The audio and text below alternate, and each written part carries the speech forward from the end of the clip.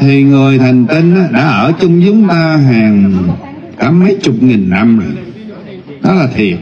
Và right now, hiện giờ nó cũng đang ở chung chúng ta.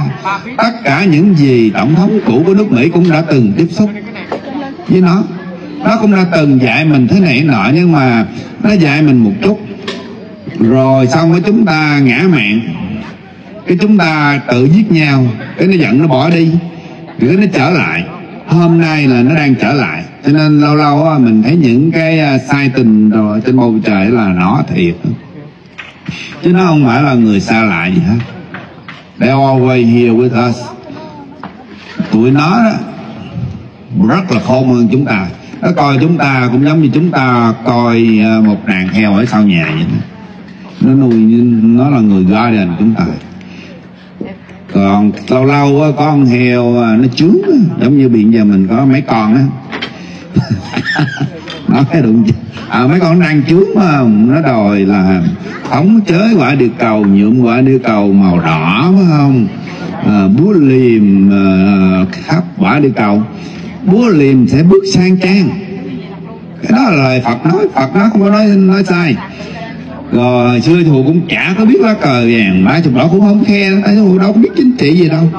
Sau này mấy vị đức thầy rồi mới nói không sau này con về lãnh đạo nước việt là con phải cần cái này để mà lấy lòng quốc tế.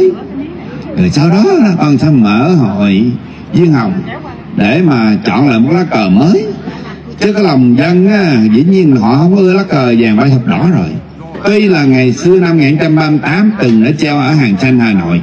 Nhưng mà đối với tụi trẻ bây giờ nó đã bị nhiễm giống như nãy đệ tử này hỏi nó chẳng những bị nhiễm mà nó còn bị uh, brain brainwash là giống như zombie á, giống mấy mấy con zombie á. à đạn thắng nó hỗn dữ lắm. Nó chẳng biết trời chẳng biết phật chẳng biết gì hết. Nó chẳng biết cha mẹ nó luôn. Nó chỉ biết có đồ lạ thôi. Thì cái tuổi trẻ Việt Nam đài xấu nên mình phải uh, trị cái chất độc của nó. Nhiễm vô đầu nặng khi người hành tinh hiện bây giờ đang ở gần với chúng ta. Oh no sao biết được. Cha nói hey thằng mắt bự đầu cọc bốn feet bây giờ cái quốc gia này à, sau này sẽ lãnh đạo thế giới. Rồi bỏ nó xuống à, dài cái AI đi phải không? Thì có nghĩ là nước Việt có phải lên thành cường quốc lệ không? Cũng giống như nước Mỹ. Nó nhờ nó sản xuất được con uh, con chip đầu tiên. Rồi bây giờ Đài Loan cũng vì con chip.